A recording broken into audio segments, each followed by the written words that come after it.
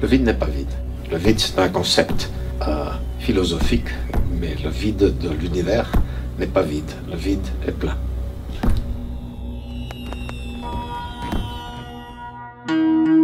It's true that uh, CERN is a, is a big laboratory. You the reason why this uh, city exists is because we are supposed to be doing uh, top quality science and top quality technology. It's full of buildings with a bank, uh, with a post office. We, we, you, if you want, you don't get out. You don't need it.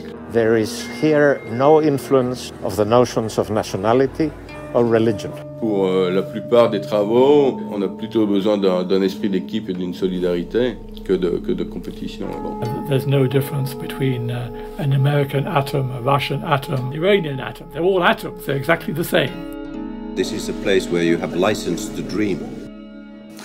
you know, the World Wide Web was invented here.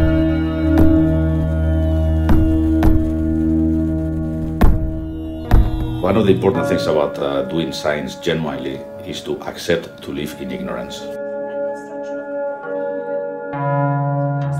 We are question driven because these questions are really fundamental. What is the universe made of? You know.